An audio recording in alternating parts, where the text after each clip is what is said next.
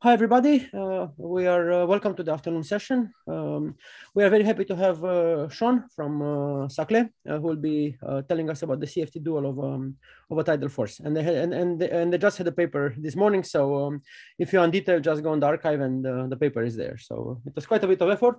we pushed um, the postdocs and the students to finish the paper as soon as possible. And, you know, they did it. So, you know, quite a, quite a valiant feat of um, physics. So finish the paper today. Anyway, Shaun, uh, it's all yours. All right. Uh, thanks, Joseph. Uh, thanks, Nick, and all uh, the organizers for uh, giving me the opportunity to to talk to you today. Um, uh, so today I'm going to be talking about some recent work that I've been doing with my collaborator Ben, and also on just a tad bit on the gravity side that I've been doing with uh, Ishwan and and Nate's, um, but mainly the the CFT for today.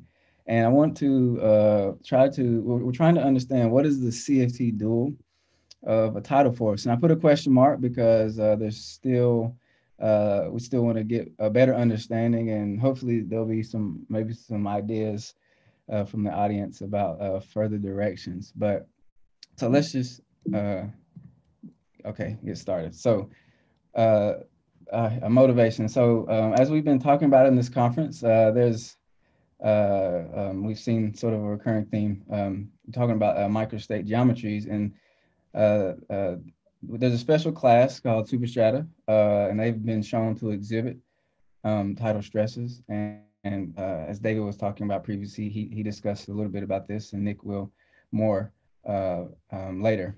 Um, and there was a calculation that was done where a string probe was sent into uh, the superstrata geometry, and it was shown to experience uh, tidal excitations along uh, the transverse directions. And because there's a, uh, at least at the free point, there's a there's a well-defined uh, map between uh, the superstrata state, a class of superstrata states, and the D1 D5 CFT.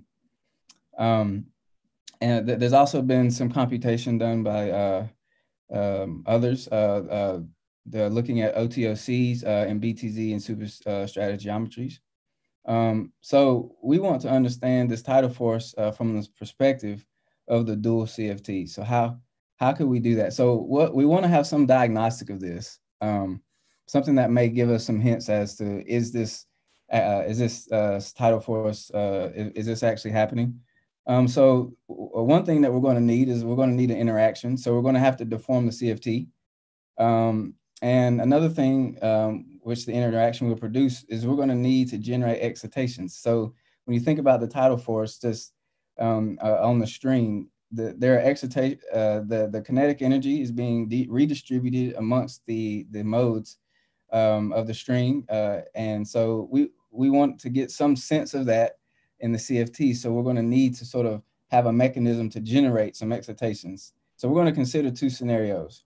The first scenario actually we're going to consider is is that we're going to look at the CFT dual of a probe in empty ADS um, with this deformation turned on.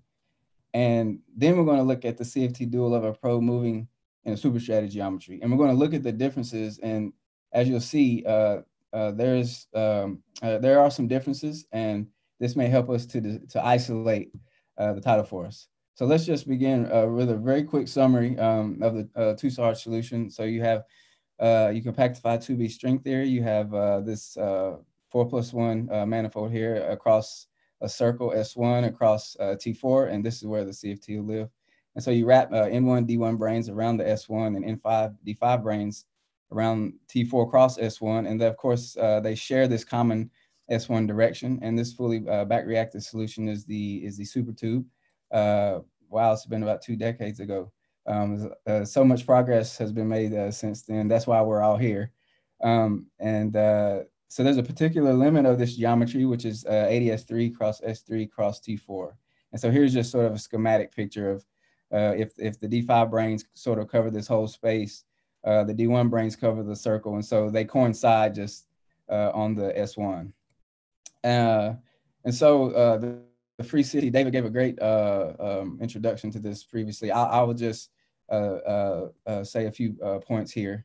Um, the, the free the CFT is a bound state of these D1 and D5 branes, and they wrap this circle. And so the circle we're going to take to be a rescaled version of, of the physical y coordinate.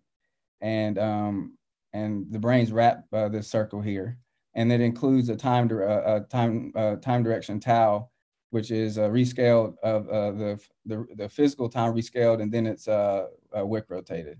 And so the base space is given just by a cylinder, and it's described by this coordinate w here, tau plus i sigma. Um, and so uh, the the the CFT also uh, it has uh, excitations, and so you can have excitations of the D branes, uh, which are these sort of open string excitations that that carry uh, polarizations along uh, the T4. so the bosons are polarized along the T4, and there are four fermions which carry actually a T4 index and also a, a, a three sphere S3 charge. Um, and so you can have uh, left and, and, and, right movers. Um, and so, and there's a nice relationship between this, between this CFT and the gravity dual. So um, what we really need to do though, is we need to move away from the orbifold point um, and to approach the, uh, uh, uh, the, the supergravity, to move closer to the supergravity description.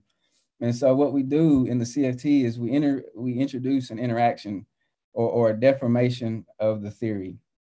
And so schematically, it's this, you know, here. So you have uh, the free action plus uh, some deformation. And we're going to be computing, our computations will be in small lambda, um, um, uh, which allows us to actually compute things. So what is this deformation? Uh, it contains uh, two main ingredients. The first is this supercharge operator. This is a super symmetric uh, uh, uh, CFT. And so it contains the supercharge, we call it supercharge G, and the bars denote right moving and the, the unbar notation is left moving. And so you also have uh, uh, this sigma here, which is a twist operator. So what does G do? put simply, G can take a, a, fermion, a bosonic excitation and give you a fermionic one, and vice versa it can take a fermionic excitation and give you a bosonic one. And here alpha is, uh, stands for boson and D stands for fermion. So sigma, what does sigma do? It's the twist operator. And what it does is it twists and it untwists the effective strings which are wrapping the circle. And if you think about, um, you know, what what could happen, how could they interact? Uh, this is sort of the sort of the basic interaction that you could think of in your mind is, hey, if I have two strings, what could I do? I could join them together. Um, and so what we want to, uh, to look at uh, in this talk is actually we want to look at second order in the deformation operator. And the reason that we're looking at second order is because um, we want to try to, to uh, create a scenario where uh, sort of the background is fixed approximately. We know that when you're actually twisting and untwisting these uh, these effective strings, you're you're just, you are changing the background in a sense, but you want to you want to limit that, and so we use two because we can we can begin and we can end in the same twist sector, and so and this is sort of the simplest way you can begin and end in the same twist sectors. You just you twist two guys together with one sigma, and then um, just I'm just uh, showing the sigma part, and then you can untwist them back into two guys, and so um, this is going to be our uh, mechanism uh, for generating uh, uh, the excitations. Um, okay, so a graviton probe. So let's first consider a graviton probe moving in the two charge system. Um, and, and th there's a particular twist sector in which the this two charge system is actually uh, sort of global uh, ADS. And that's when that's the NS sector, and you you, can have um, all the uh, you have all singly wound uh, uh, vacuum, uh, NS vacuum. And so if you just wanted to schematically, if you wanted to think of a probe moving in this ge geometry, what you would do is that um, in the CFT, that's that's sort of dual to an an alpha an alpha bar excitation. So this alpha generates a left mover uh, with uh, with energy uh, n mode number n, and it generates a right mover also with mode number n. And so uh, this is sort of how you can can construct uh, the the CFT dual of, of, of a single of a single scalar moving in in ADS. Um, and so so this is what we want to look at. And and and so when what, what can happen is if when you start with uh, a single left and right mover, um, you can twist this together. You, you can you can uh, apply two of these deformations, and you can and you can consider the simplest sort of splitting scenario. We call this splitting because we're trying to generate uh, more excitations um, because we we think that this may be a signal of of this tidal force. Um, and so uh, the simplest uh, amplitude is if, if, you go from one to three. So one left mover to three left movers, one right mover to three right movers. And here, this is Shaun. A second. Yes. One second. One one goes to two doesn't happen because. Um, because you have the supercharge, I think you um, the supercharge offers two modes, and I think to get a non-zero amplitude, I think you need one to three. Because it basically comes down to when you start with when you're performing these contractions you need uh, you need an even number of uh, bosons and fermions. Okay. Um, yeah. And so, um, okay, so here is just a, a restatement of what I said just uh, in terms of the cylinder. So here, we're starting at um, at early times. We have, uh, let's say we have a left and a right mover acting on uh, on the vacuum, and we apply two of these D operators, and and we're going to just, for example, we're going to just twist the first two guys together, and then we're going to apply another D, and then we're to um, and it's to untwist, and then it's um, a possible final state is three excitations, but this isn't the only thing. And, and you can kind of see, you, you can, you actually get a tower uh, of excitations because um, you, we, we can borrow the intuition from, from quantum fields and curved space. Anytime you sort of dynamically change the vacuum, you can you generate um, a particle creation. And so actually this state is much more complicated than just this uh, uh, than this simple uh, state here. But this is one final state that you can consider but it's, it's not the only one. There's actually there's uh, pretty much an I guess an infinite number of terms you could consider, but um, this is sort of the sim- the simplest. If you wanted to consider a splitting, this is the simplest final state. I guess one of the simplest you could consider. Okay.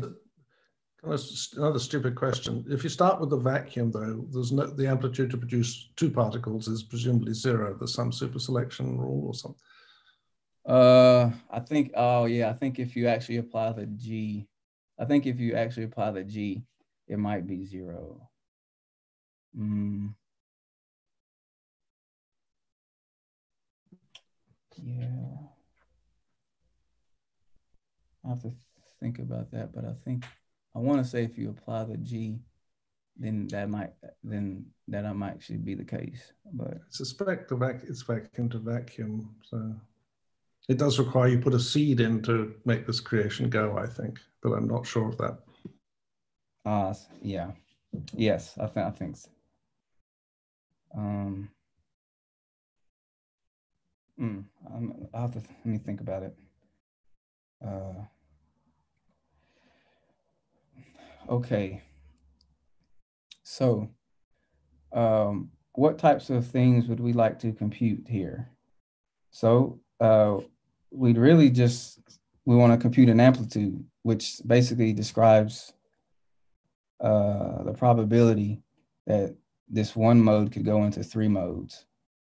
And so this is sort of the amplitudes that we consider here. So you have your, your initial state psi one, and you have you apply two Ds, and then you have the phi one, the final state. And so we want to compute. So this is a transition amplitude, and we have to integrate over the positions of the twist. And so we integrate from zero to two pi with sigma. And then we consider some region of time um, uh, that we integrate over. And uh, if we do this for this one to three process, uh, we, we enforce this energy conservation. And we can also consider various splitting scenarios. But in this case, we're just going to consider the simple, uh, the, the, the sort of equal partition, so an equal splitting behavior. Um, and this is what we find. We actually find that the amplitude, it oscillates uh, with time. Um, so in some sense, this is kind of what you would have expected because the the the probe is moving in the geometry, but there's it's just ADS, and so you would expect some type of sort of periodic behavior. Um, and so we analyzed this amplitude in detail. Um, and actually, there's a sim. You get a similar sort of you get a similar form if you consider also alpha to an alpha and a D and a D. Um, and but but you don't see any significant sort of growth uh, for long time scales.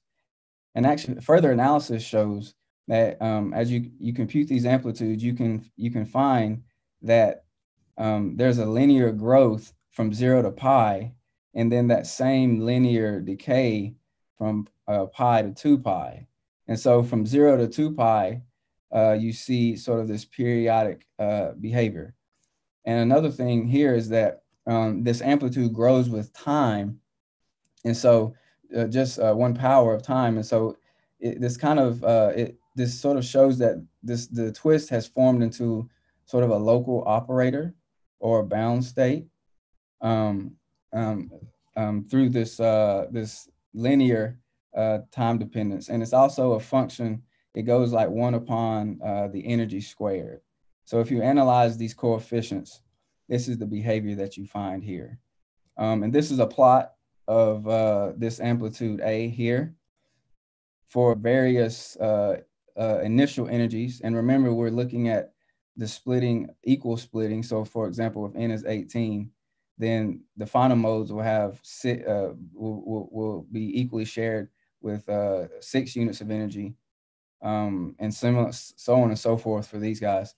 And so um, this, uh, so so here's a, this is shows sort of the periodic nature of the of the one to three process in the vacuum. And you know and, and, this is kind of what we would expect actually. And so one can actually extrapolate to or, or compute a large n result if you consider that the, the, the left and the right movers stay on the same string. Then um, if you if you start uh, if you start the left and right mover on a string then you can you can twist to any of the n minus one strings and then twist back uh, uh, leaving it everything on the singly wound string and so you get this enhancement of a factor of n. And so the n and this lambda squared, it combines to give uh, this g squared. And this is kind of like, this is like the 't coupling here. Um, and so, but if you consider that the left and the right movers are not on the same copy, then you don't get this enhancement factor. And so if you sum over the final states, when they when the left and the right movers aren't on the same copy, then uh, this only brings in one factor of n roughly.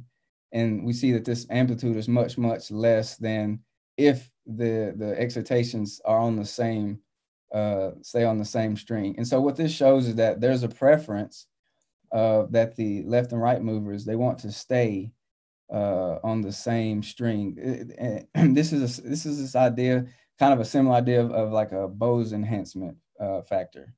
Um, okay, so so far what we've done is computed the one to three splitting, uh, and which corresponds to this uh, particle moving in this ADS, and we find a periodic behavior, which uh, is expected because the particle will go in and it will come out the other side and it will come back down and it will return back to its uh, starting point.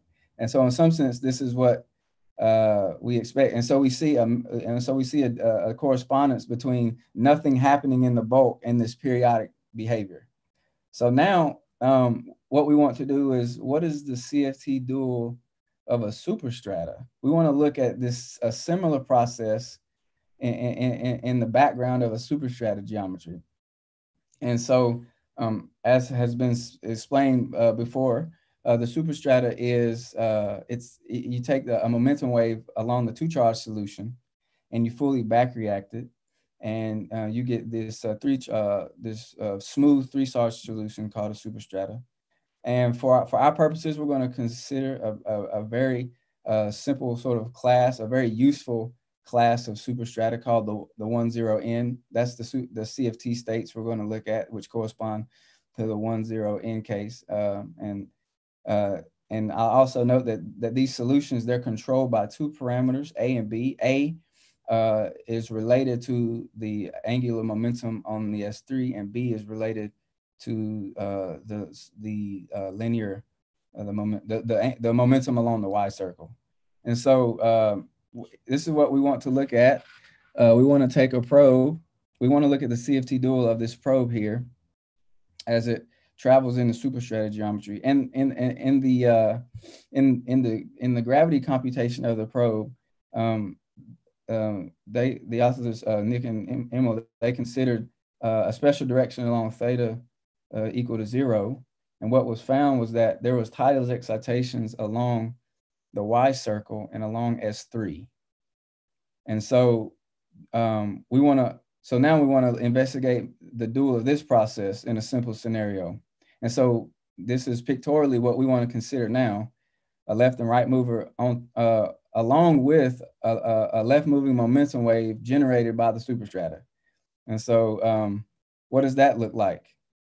So uh, we, like I said, we would consider sort of this very simple uh, uh, uh, superstrata state. Uh, the momentum wave is generated by this L minus J here uh, to the power of N. And um, the, the and these uh, zero, these are zero zero uh, uh, wound strings, and so there's no net momentum along the S3, and there's there's n zero zero of them, and uh, the other part is the plus plus part. This is where the angular momentum comes from along the S3 in the solution, and uh, there's n plus plus of these guys, and so we're con uh, we're considering one here means that the the the winding here is one and so the total number of strings is N1, N5 is, is N0 plus uh, N plus plus here. Okay, this is the superstrata state. Now we want to consider um, a probe moving in this, moving, uh, uh, so in the gravity, we want a probe that's moving in the gravity. What is the dual of that? We have the superstrata state, and then we put a probe and um, an alpha alpha bar excitation. And actually, it turns out that uh, the simplest sort of case to do this is to put the alpha alpha bar on the the vacuum of the plus plus strands. Um, you you can put it on this. It's more complicated, but I don't think the results. We actually tried that at first, and it was uh, it, it was even more complicated. And so we so we kind of looked at this scenario, but I don't think it will change much. Like if you put this on here, the, I don't think the overarching idea will change much. And in the the the in the superstrata uh, geometry, the the long throat re region is given when uh, when b squared is much much greater than a squared, or the n zero zero is much much greater than n plus plus. Okay. Now, so we, we, we go through this process again, uh, but now we we twi we're now twisting an L minus J with an alpha with with two alphas, an alpha well an alpha and an alpha bar. And so we designate sort of two strings, uh, this one and this one, and we twist and untwist the state. And we want to look at a final state that looks like this. And let me just explain a little bit here. So we've kept, because we want to, uh, we don't really want to study back reaction in this, in this picture. We want to keep the background fixed as, as much as we can. So we consider that the superstrata goes back to itself but we want to look at maybe the spread of these excitations on top of this. And so we want to say, okay, what uh, can we can we uh, compute a, a, one to three process on top of uh, the the superstrata state? Um, and furthermore, because of the excitations were along the S3, the in, in the gravity computation, the the tidal forces were shown to be excited of the string was shown to be excited along the S3. And so the simplest thing that you could think of maybe is, is how do I look at stuff on S3? Well, I need some S3 charge. And so I add, uh, a, a, a, I add, uh, I want to look at fermionic modes in the final state. Um, now, you know, there's a, there's a question about what are the uh, and I was talking to Ben about this. Uh, what are actually the stringy degrees of freedom? And, and, I think that's that's actually kind of tough to precisely identify. in the CFT. And if anybody has any uh, suggestions on that, I, I, would love to hear. But the, the simplest thing that, that one could just write down is say, hey, let me just look at that, the, the probability to split into uh, uh, fermionic degrees of freedom. And so we, we go through again and we compute uh, a, a, splitting amplitude. And uh, so we have our initial state and our final state and the two Ds here. And we run through the similar process. And now M, M is the energy of the probe, or, or, or 2M is the energy of the full probe. Uh, one uh, uh, M itself is the energy of a left or right mover. And so we again consider, we, we have energy conservation, we again consider this equi this equal splitting, and we find this. Um, we actually find a sim very similar oscillatory term. Um, some slight differences, but it but it's period. But this is periodic. But now we find a growth, this t squared growth here, and and it's this growth that sort of signals that something is is happening there. there there's a growth in this sort of splitting into these modes, um, which could resemble the, the idea of a tidal force. Because see, the, the, the, the periodic nature and the gravity, it, it, sort of represented the fact that the particle could go in and come out or go in and come back to the boundary. But the fact that it's not periodic is somehow saying that the particle is going in and it's not coming back out. Um, but it's made, you know, and, and I think in, in their calculation in the gravity, they showed that the string that it goes in and, and, and it, it, the return height is less and, and less as it oscillates back and forth in the throat. And so, um, and so this is what uh, the amplitude actually looks like uh, because you combine this oscillatory behavior with the t squared um, you get sort of this uh, this struct this behavior here. It, you can see sort of an overall t squared growth, but there's like a it grows here and then it goes up here and then it goes up here, and and it's it's also it, it falls like one over m squared, and this this here can be approximated by it, uh, this here is very close to this sort of uh, it's like a it's like a saw like behavior from zero to pi, um, um, and so so let's compare the two processes.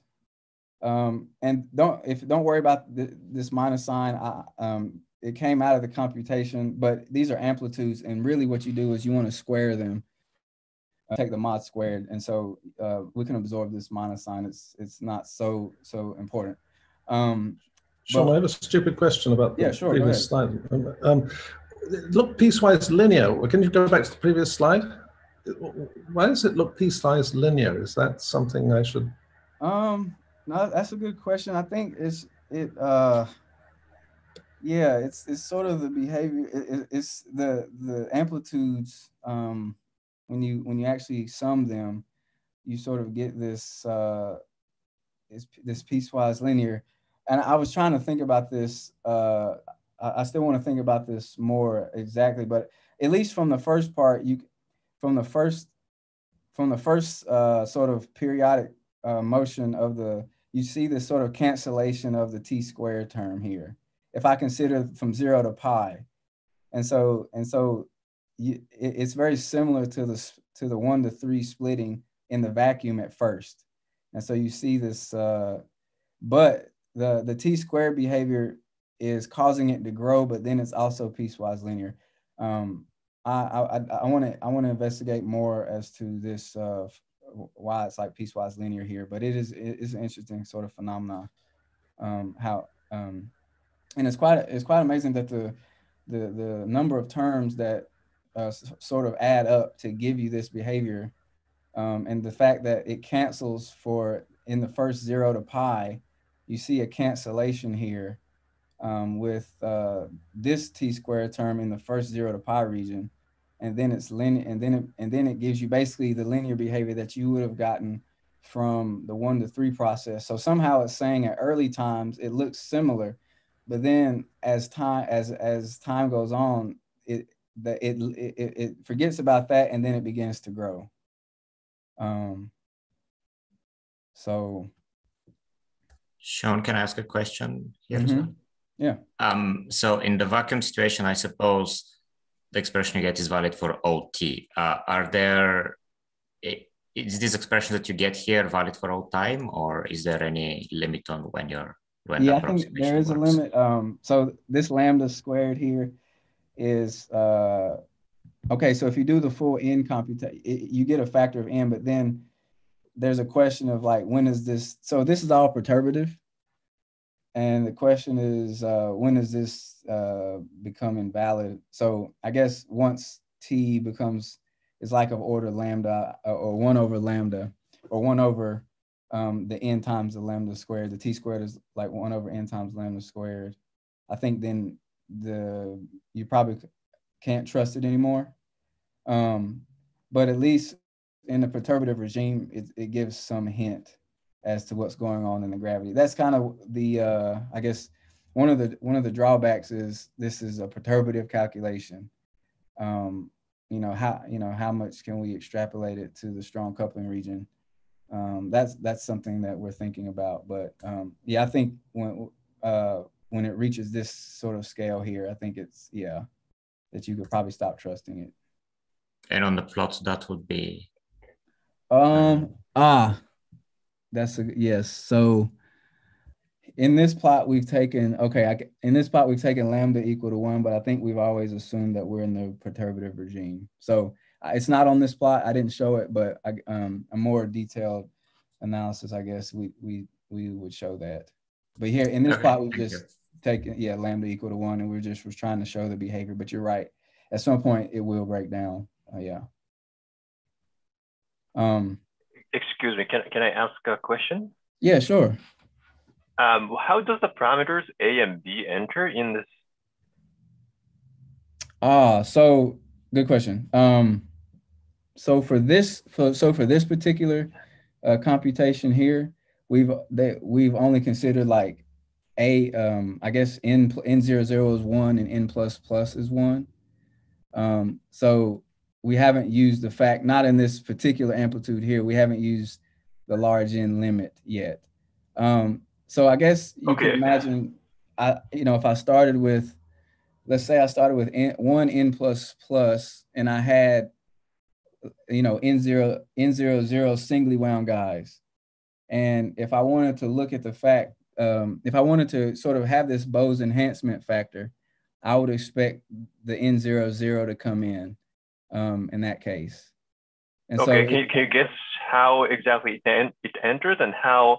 Okay, so you said that this is going this perturbative expansion breaks down, but maybe the time at which this breaks down depends on B, and B is real. Well, maybe also on A. A and B are related to the depth of the um, throw. So maybe it's really at the time when you hit that this um, point where the um, tidal force is big, when this perturbative expansion breaks down. Of course, this is uh, this is a perturbative thing, so it, I don't know if you can say. Yeah, no, that's a good that's a good point actually. Um, I no, I, ha I haven't uh, thought too much about it, about it in that in that depth. I, am definitely thank you. I definitely want to think about that more. Uh, yeah. Yeah, that, that would, yeah, that would be interesting. Because the thing is, the okay, so uh, I, we were talking to uh, Joseph and Nick about it about what is the sector that you want to actually look at. And in this computation, everything has been computed in the singly wound sector. So, so in a sense, you're going to get this sort of Bose enhancement term um, if you consider that the that the that you can keep if you consider the scenario that you twist back to the same string you, you know, you can sort of use this Bose enhancement. And I could imagine that because we're on a singly wound, there's an n zero zero This would come with a factor of N00. But one mm-hmm. could, in principle, start off in a long winding sector and do this same process.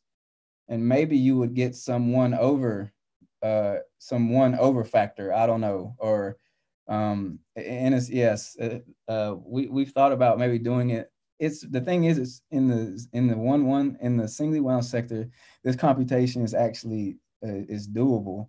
Um, it seems quite difficult, uh, at least maybe there's some approximations we can make to try to look at the long winding sector. Mm-hmm. I think uh, I think the belief is that actually that's the sector that that all the zero zero strings should actually join up into um, long plus plus strings. And so I think it would be interesting to look at that sector. And then that that may bring in some different behavior into as far as what you're um, asking about when does this break down and things like that. I think that'd be very interesting to look at though. Yeah, yeah. Thanks. Yeah, no problem. Um, okay, so uh, so looking forward, um, this is a very naive picture too, but looking forward, since we showed there's some t squared growth in this process here where we're generating these fermionic modes, which uh, which which may be related to actually uh, stringy modes along the, the, three sphere. It, it seems likely, I mean, it's very likely that the same process should that we should still get the same growth for if we just uh, uh, look at transitions to the the bosonic sector, which carry uh, the T4 indices. Um, but as I was saying, I'm not quite, I'm not really sure how to precisely identify stringy degrees of freedom in the CFT. Um, if if uh, me and Ben were talking about this uh, quite a bit, um, I know there's this uh, Gava Narain work, which I think they they're able to do that in some limit, uh, the PP wave limit, which I, I don't know in detail, so I don't want to say too much about it. But um, I think actually, uh, and there they were uh, able to sort of identify like what are the what are the stringy modes in the CFT? Because I guess in principle, everything should be in the CFT somewhere. It's just uh, it's just a matter of what's the combination of operators. But but the things that we we're looking at here are kind of the simplest, you know, the simplest thing that the naivest thing that one uh, could think of. Um, and so uh, the the fact that you this this seems very likely that you do get this growth term uh, with these bosonic modes, it actually it actually sort of led to discussions about um, uh, revisiting the the string pro the string computation in the superstratum geometry, and that's what uh, me, along with in collaboration with Nejc and uh, Yixuan, uh, what appeared today. We uh, we we went back and looked at that problem, and so just a, a slide or two on, on that is we considered now you need to actually consider the full 10D metric, um, the full 10D string metric um, because uh, we considered another direction, this theta equals pi upon two. And actually, um, in, in that case, you, you get this uh, conformal factor that's a function of, of V and phi one. And so because of that, you actually find some interesting behavior that that the, the uh, so the prefactor in front of the torus directions actually uh, obtain sort of uh, some tidal force behavior. And so um, when you, uh, and uh, we have this uh, this nice picture, courtesy of Nejc's, um, of uh, of what we actually computed, and we so we considered an infalling probe again, um, and we haven't actually done the string calculus. We haven't looked at the string equations of motion yet, but what we what we did find was that this sort of mass matrix term that would enter into the string equations of motion, it, it, it actually um, has this oscillatory behavior um, and, and, along uh, the torus directions and also along uh, one of the other directions as well. And so basically when it goes negative, this is like a negative sort of mass squared. So uh, this is sort of the, the, the string uh, being stretched and sort of oscillates between the two, um, between positive and negative values. And so uh, the main the main result is that it, it's it, we were able to show that there, you do seem to have tidal ex excitations in the torus directions.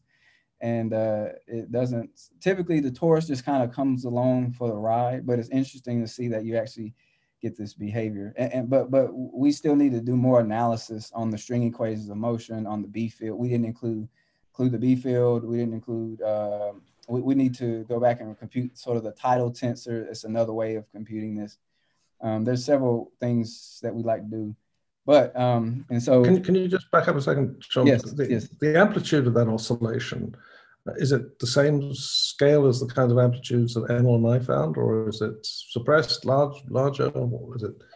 There's some uh, powers of B and A that are in front of that. Yeah, um, I think. Well, at least I think it's the same order of as the uh, as the tidal tensor along the phi direction in this computation. Um, I'm not sure how it compares with uh, with you and Emil's. I don't know if anyone maybe has uh, any more comment on that. Um, I can't. So, so the amplitude scale would be squared over a to the power of four. So I think they're similar to what you've done. Oh. So as b goes larger, uh, they they become large as well. So with the long throat, you have significant tidal effects, and these these are all in all um, similar in all directions. So it's not that the tidal forces along the T4 are much smaller than compared to tidal forces along, for example, the y direction, but they're comparable in size. And how many positive? Oh, they're oscillating because MLI found one positive eigenvalue and one negative eigenvalue mm-hmm. essentially. You've got to oscillate six oscillating eigenvalues, I guess. Or six or eight. I think. Okay. Yeah. Hmm. It's seven, I think, right? Um, so, um, uh, sorry, it's eight, and uh, all of them are um, going from uh, positive to negative, except uh, the um, the one the, the um, on um, on the y direction. Yeah, the y direction stays positive. So, so, it gets, so it gets squished in the y direction, but otherwise it's been okay. Yeah, yeah and uh, so the tidal force um, along the T4 is very, very similar to the tidal force along the S3 directions. Mm. I see. Sorry, is it is it oscillating or is it just rotating? How many oscillations are there between the the top of the throat and the cap? It's something that that scales with the with n, uh, n being the, the the mode number of the superstratum. What's happening here, Emil, is, is that the amplitude in front of the torus now depends on the cosine n phi. Um, so, uh, so okay. It, it, and so it's encountering radial, you know, it's encountering derivatives of those factors, and therefore, if n is larger, I think there are more wiggles. Is that correct, guys? Yeah, yeah. So um, the um, the oscillations come mainly from um, from the motion along y, and so we probe the um, the fact that um, along y there is a um, z over two n symmetry about the, uh, the the strings frame. I see. Yeah. Hmm. Okay. Um, so in conclusion, uh, what we looked at was uh, uh, we, we, were trying to understand tidal forces um, in the CFT. And uh, this looks what we found maybe looks like the looks like it could be the the effect this growth um, and the way we we we compare we we we compared the process of just a probe falling in to a, uh, to an ADS and then a probe falling in to a superstrata. We compared those two processes in the CFT and we found some differences in the amplitude, and that's where we found this uh, t squared growth. Um, and this, you know, as I said, this is suggestive uh, of, of, these tidal excitations. And, and we considered that the similar process could happen along T4. And uh, we, we indeed show uh, in, in the gravity computation that there is a, a, special set of geodesics which give us these uh, tidal excitations. Um, we, so we want to compute this so the corresponding amplitude in the CFT, though it's expected that it will give sort of a similar thing. But um, more, uh, I guess I really wanted to understand more of how to identify stringy modes in the CFT. Um, like precisely what they are. And I think this, I don't, I, I don't think that's I think that's maybe not so worked out. Like I said, I think there's this one, this situation with the Gava Narain uh, where they looked at it. But I think in general, it may, uh, it's not well understood as far as I understand. And we'd like to consider maybe a long, consider long winding sector uh, that may help address uh, uh, some of what Masaki was asking. Um, and so, um, but yeah, that's all I have. Uh, uh, thank you guys for listening. Uh, hopefully that made some sense. Thanks. Thanks a lot. Okay, so I have some questions and so, I have a, a, a bit more time.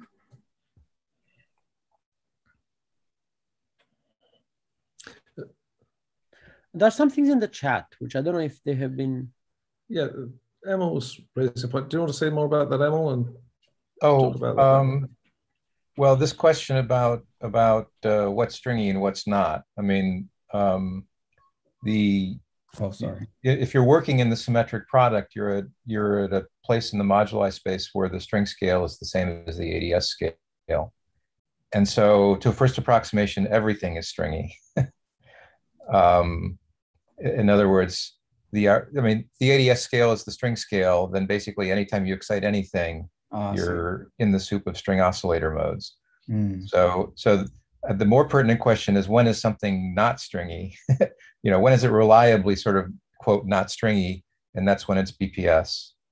So, Okay. um, Okay. so Because because the alpha. So for example, if you had a probe, um, that's you know a graviton. It's just you ha- you can start with an alpha minus one, and you can apply the rigid generators, and you can just boost it. And so that correspond. Yeah, that's a particle moving with linear momentum, but somehow this so this splitting behavior is is sort of signaling maybe like the stringy modes, like you're saying, acquiring some type of rest mass, I guess. Um, yeah, so um, I mean, it was just if you, yeah, well, something getting stringy. Um, yeah, any any anytime you start just you know piling some random oscillators on on the ground state, I think I think you're just moving into the the stringy regime. Mm, Um, I see. I see. Can I just okay. echo what Emil just said? Uh, I think what Emil is saying is exactly on the dot. You can first look at what are the BPS states, and you know the BPS states in supergravity are only a 256 dimensional multiplicator. We know them all. And roughly speaking, anything with one left and one right mover at the orbifold point is a supergravity particle.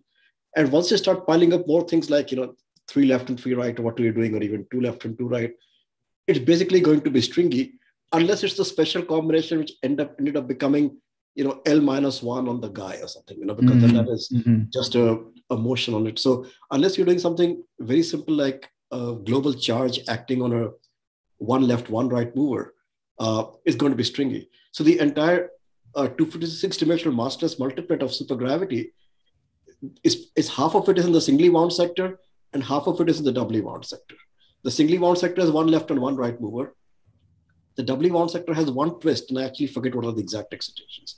But basically, everything is covered by that. So, uh, I see. Oh, okay. yeah, and anything else is basically going to be almost certainly stringy. And once you go to larger windings, then Gava-Narain gives you the exact answer anyway, in, the, in that limit. Right, right, right. Yeah. So Now- to those of us who are not so expert, does that mean that this pro, this is or is not a, a signal of some tidal force? You're asking me? Yeah. Okay, so I know much less about that. I mean, I don't certainly. I think this is showing that a single string has gone to stringy things, uh, and if there was no tidal force, it wouldn't go to stringy things because a BPS particle would continue as BPS, right? Because it's just if you just put an ADS space, it's just a geodesic, so it just goes to the other side.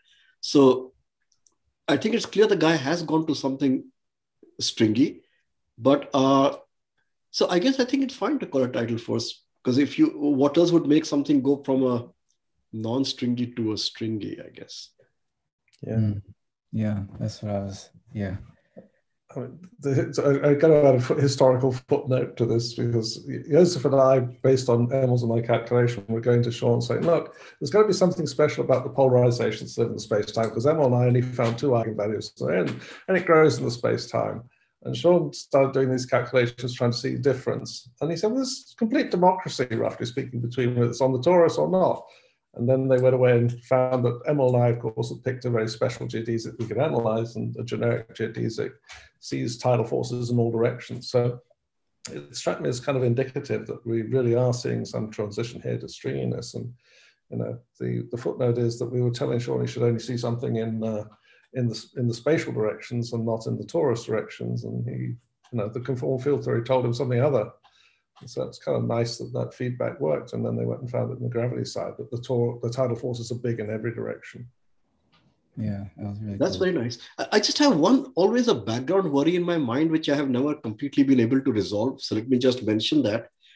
Like at the orbifold point, we know that a graviton is, let's say, one left and one right mover, right? So Hij is del xi del bar xj. Once you go off the orbifold point, the question is, do you also have to correct the operator? Like the evolution is we are putting in by the twist operator. That's as time evolves, the twists are keeping on changing the state. But the operator graviton itself also will be not just one left and one right, but a combination of one left, one right, three left, three right, and so on. Right? So how would I know that I actually started with the graviton or I actually started with a combination of a graviton and a string and I'm just seeing the oscillations between them? Now, of course, if he's seeing secular growth like he's seeing now, like it's keeping on increasing, that looks like a signal of sec of you know real change. Mhm. But I just don't know at what order one has to worry about the initial state when you say I'm throwing in a graviton. At leading order to orbifold point, of course, it is one left and one right. But once you are working at second order in perturbation theory, you always have to be careful whether the graviton itself had to be corrected. Now, for the lifting calculations, we had all this long calculation to show that, okay, up to second order, we don't have to look at the perturbation of the state. We can only look at, so that, but a whole calculation to check that. For general non-BPS state evolution, I mean, that was a BPS state lifting, right? But for non-BPS Mhm. state evolution, I never figured that out. So I don't actually know what is the right way to think of the graviton state inputted down the throat uh, in the beginning. Mm. How much of a three three left, three right mixture it should have. But So somehow one should also compute the eigenstates without any evolution, with both left and right excited. That's not the kind of lifting we'll be doing with bin, right? Because there's only left excitations. One should compute the actual eigenstates with both left and right to see what is actually a graviton at, uh, you know, graviton has both left and right. It's not, so what is actually a graviton at, let's say, second order in perturbation theory? Mm. And then that's the guy that should be put in. And there's just a tiny bit of worry I always have that one is putting in something which is already a linear combination of a graviton and strings because the actual eigenstates are all mixed up. Uh, and then it's not clear what one whether one is seeing evolution or just the fact that one put in something which was stringy. But Yeah. it's a very general question. So Isn't- Isn't that a subleading correction, though, in the sense of the fact that he's got a t squared growth in the state into what seems to be just a mess of strings? absolutely, I think it's the t square which convinces me this might be real because if it was really a you put in a mixture of two eigenstates, it'll oscillate, right? So the secular Yeah. growth we're seeing, I think that suggests to me this is not purely an effect of not having the correct initial operator. But in any case, it might be nice to com- compute the actual graviton operator to second order in perturbation theory so that we know that we are not actually, at least we can filter out that effect. And Uh, yeah. should there be some some um, one over n suppression of these sort of effects you're talking about, or is that uh, is this already at order sort of end of the zero? You expect these sort of corrections? You- You're asking me? Yeah, I'm asking you. Uh, yeah, I think everything should be one by n suppressed because if n is big, then the ADS is big and the tidal effects are small, right? So nothing will change if you put it in a very big ADS, I suppose. But here he's working with n equals two, right? I mean, he's not even using anything else.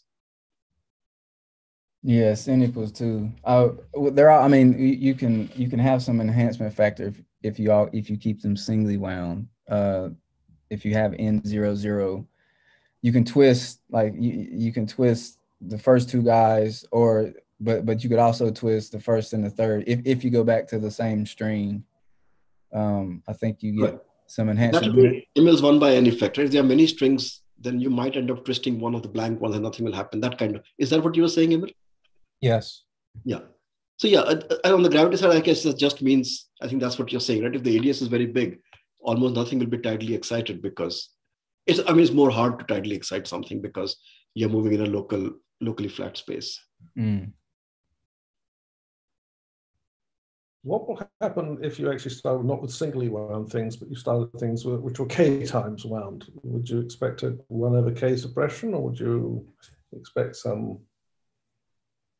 Shaun, do you have any thoughts on that? Uh, or- I would I would want to say one uh one over K suppression, but um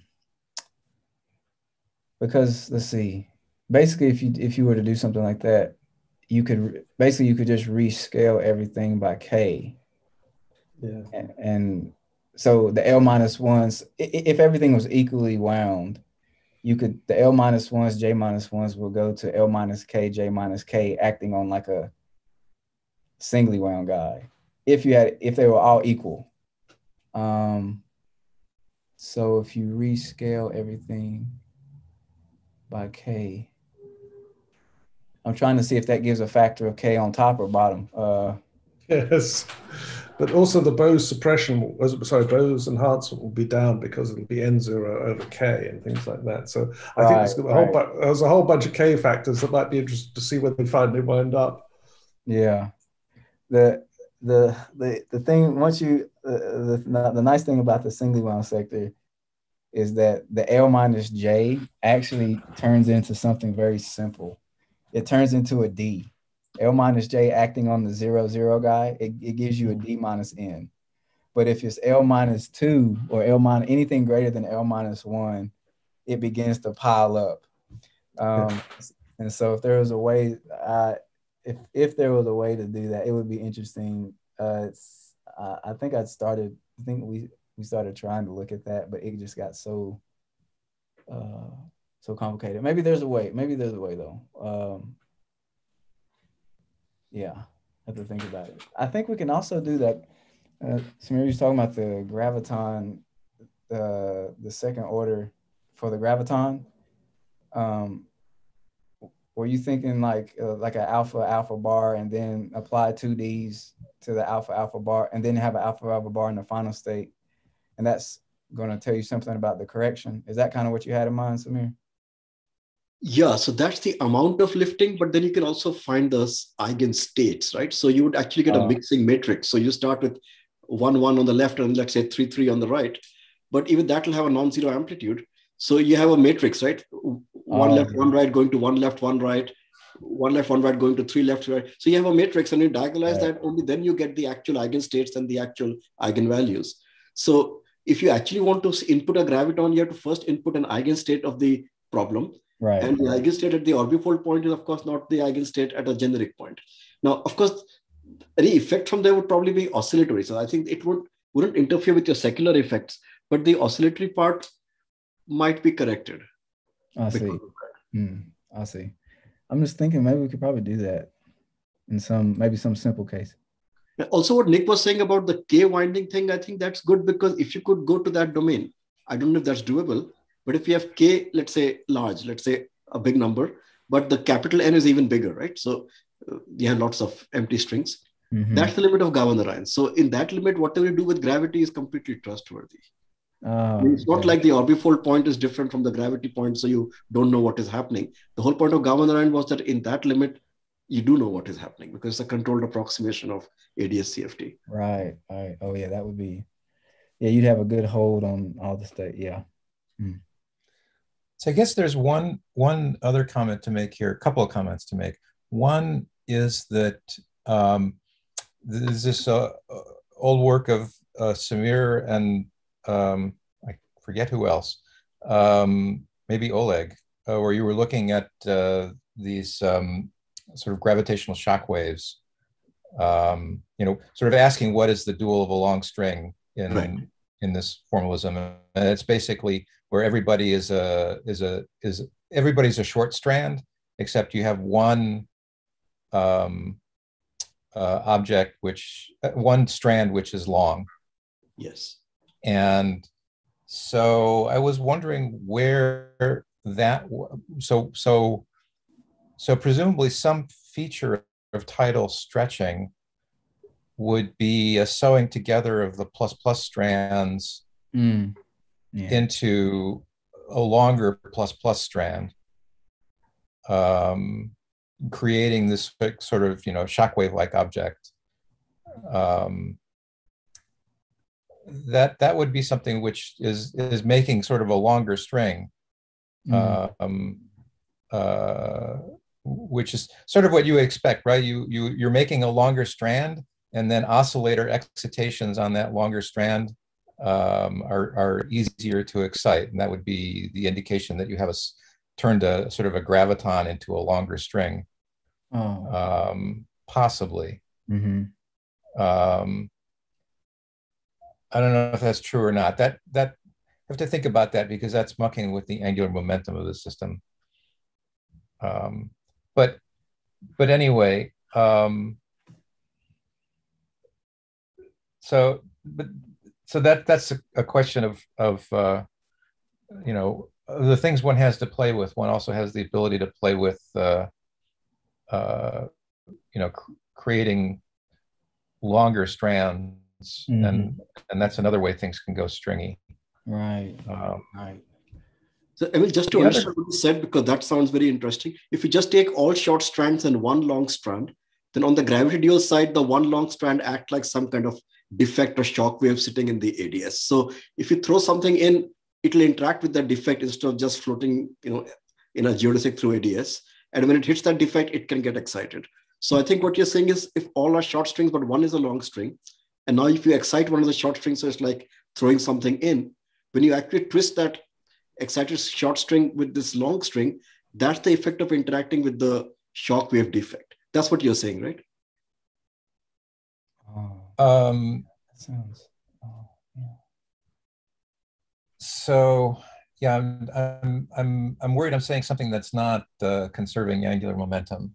Um, but uh, yeah, what what I'm what I'm saying may be maybe not so sensible, but um, No, I think that sense, Uh, right? I don't know what what's the angular momentum worry you have. I mean, angular momentum will change if you make Well, I'm just- for a long I'm, one. I'm just thinking of uh, um, uh,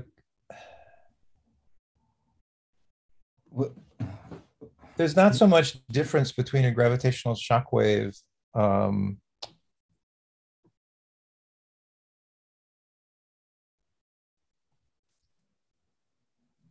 uh, no, I, I probably need to think offline about this for a bit. Um, it, it, would you, if you twisted it to, for example, uh, some of the angular momentum, uh, are you saying maybe it would go, you're worried that it might go into, some of the angular momentum from the geometry might go into the particle? Is that, Well, so yeah, so one way I could conserve angular momentum, I suppose, is uh, uh, indeed if if if I'm trying to wind up to uh, wind up a longer string. So so this this is the kind of thing that maybe sounds a little bit more like what Nick and I were were doing. That that um, if you take a bunch of plus plus strands of length one Mhm. and you, you wind them all together uh, to make a single strand of some longer length, um, then you need to put the plus plus somewhere because the plus Right. plus carries some angular momentum. yeah, yeah. But you could say, okay, I can I can account for that by having the excitations be fermions, as you were saying. Mm, So so that would begin to sound like okay, I'm I'm making kind of a longer strand, which is a, a more stringy thing, and it's got some fermion excitation. So the stretching is along the S3. mm, So so that might be some something of of the sort of what uh, Nick and I originally discovered, which which was which was that the tidal stretching was along the S3. mm. uh, that, that but that's just you know right now it's just bullshit um, the other comment that i had was like more of a question um, so you're finding this this um, oscillating tidal force that goes between stretching and compression Mm-hmm.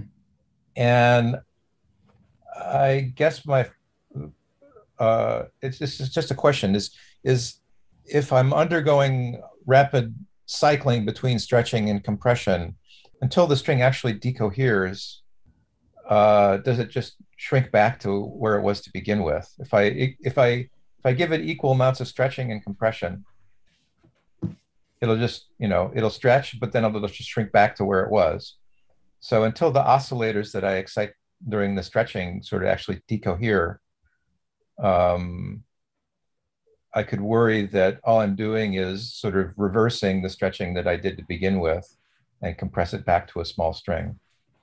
Mm. There might still be some secular growth because as, as, you run down the throat, the the amount of stretching and compression is is is presumably varying. Um, but you might not grow as much as you thought you did because of this alternating back and forth between stretching and compression. Hmm. yeah, I see what you're saying. I guess it's a, I guess this would be a question of like time, time scale. Um, is is the the the geometry or the tidal force? Is it um, is it acting faster or slower than I guess the string uh, than sort of the modes on the string? You see what I'm trying to let me see. Uh, well, the, the, so the, the, calculation you do on the string is basically um, uh, some sort of a, you're calculating some Bogoliubov coefficients for the various string oscillator modes. And so, you know, what's happening during the tidal uh, uh, disruption is you start with the vacuum state, right? The string enters the throat mm-hmm. uh, where all the oscillators are in their ground state. Okay, and then it's just some standard, um, uh, you know, uh, in-out calculation in the in the, the QFT of the modes on the string. Mm-hmm. So, uh, you know, what is the Bogoliubov transformation you're doing? It's basically you're constructing a squeezed state mm-hmm. of the of each mode on the string and, and um, you know if there if you're there's just stretching okay then the squeezed state has a high oscillator excitation and, and you just read off at, at, at the end you know how many oscillators you've excited um, but if if you're going to sort of unsqueeze it by applying a um, you know a, an inverse squeezing transformation mm-hmm. you know you can think of this sort of oscillation cycle that you're going through um, me turn on my video so I can wave my hands. Uh, the, the um, so you know, so the the you're undergoing some stretching excitation. So that's you know um, a, a, squeezing transformation of each oscillator mode in some particular way. If if during the compression you're just executing the inverse of that squeezing transformation, then you may undo a lot of the effect that that that you did with the stretching trans, uh, transformation. Is, not there um, also a question here of resonance? You know, if the string's natural oscillation frequency is the, the same as the oscillation of the bumps you're running through, then some nodes are going to get enhanced like crazy. Yeah, the, the, my worry is that you just undo it.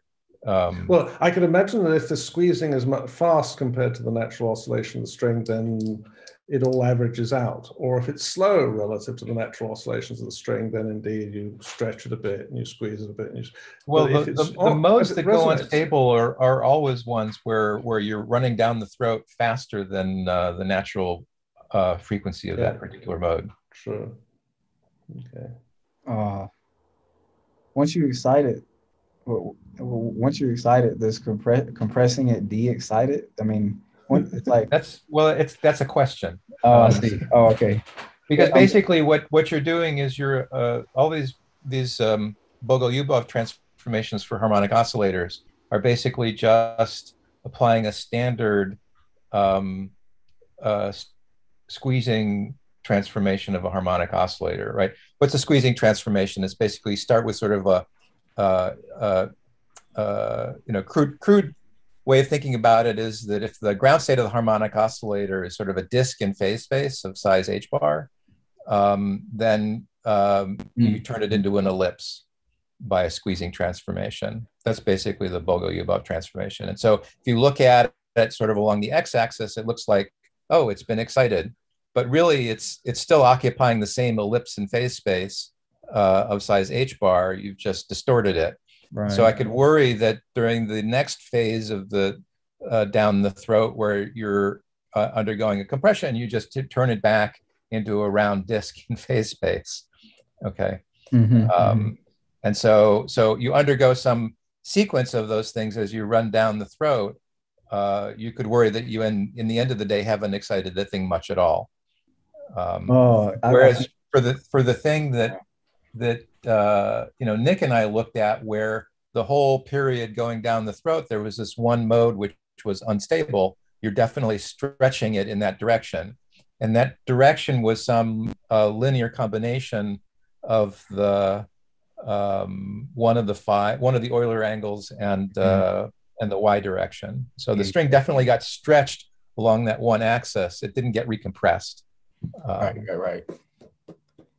Yeah, I suppose. I mean, if I think about a harmonic oscillator, if I change it quickly and change it back, it's pretty much still in this ground state. Is that the is that kind of kind of think of it in a simple toy model like that? yeah, that's that's the intuition. Yeah. Oh, okay, is the, is the time of this is the time of this oscillation short or long compared to the string oscillation mode? That's what I'm trying to. Well, this was the thing I was asking about earlier. So you, you were telling me that it's just the cosine n phi of the of the I think so, but profile. remember it's boosted like crazy, so it's seen in a in a highly ultra relativistic frame. So it's a good question. Yeah. All this tells me is we had it easy, Emil. yeah, we still. The, the other thing that also might be relevant, let me just chuck this into the mix, is we also got to ignore the B field rotating this thing at Lorentz rotating the string. It may yeah. be the B field then rotates this and, and uh, enables you to build the oscillation in a different direction. It, it's possible. There's, mm-hmm. Yeah. Yeah. Well, we we we thought about those effects, but they were subleading for us. Yeah, but they may not have yeah, been subleading. Maybe it's time to uh, yes, yeah, maybe sorry. this is too again and you know take a quick break before the next talk. So let's thank Shaun again. Thank you, Shaun. That was great.